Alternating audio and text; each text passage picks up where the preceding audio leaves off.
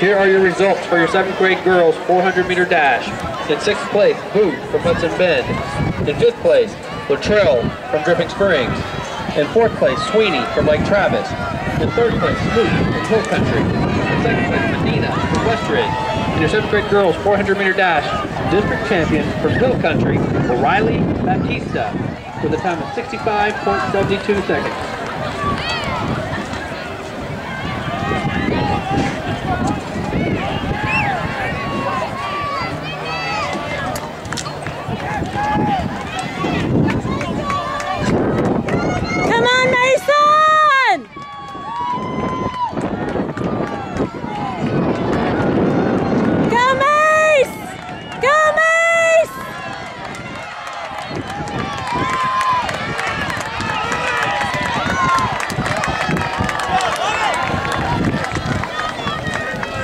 Looks good. Good job.